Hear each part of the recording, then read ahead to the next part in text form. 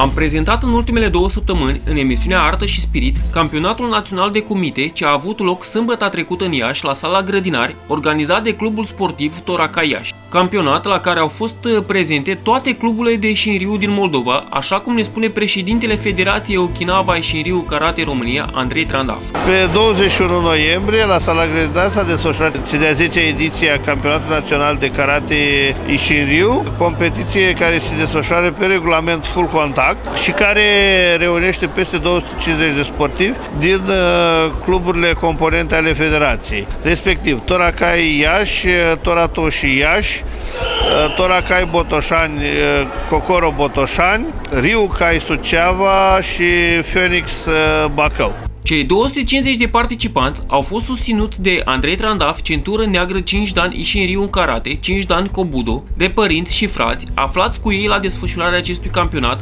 cei mai buni dintre ei clasându-se pe podium.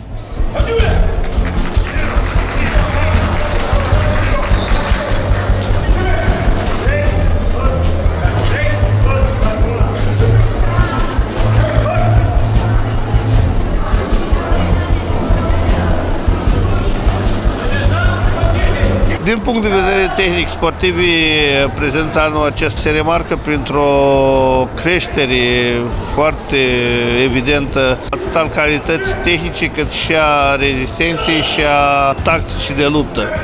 Îmbunătățirea aceasta este evidentă și saltul făcut de către, de către sportivii noștri este spectaculos.